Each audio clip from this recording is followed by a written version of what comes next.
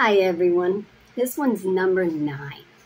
The ninth commandment is, Thou shalt not bear false witnesses against thy neighbor.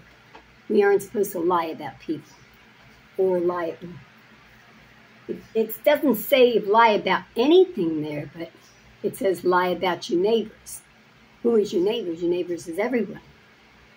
But it says, Do not, thou shalt not bear false witnesses against thy neighbors.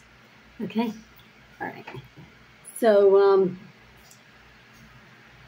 I don't really have a story to that one. I know when I was married, I always felt like I had to lie to keep out of trouble.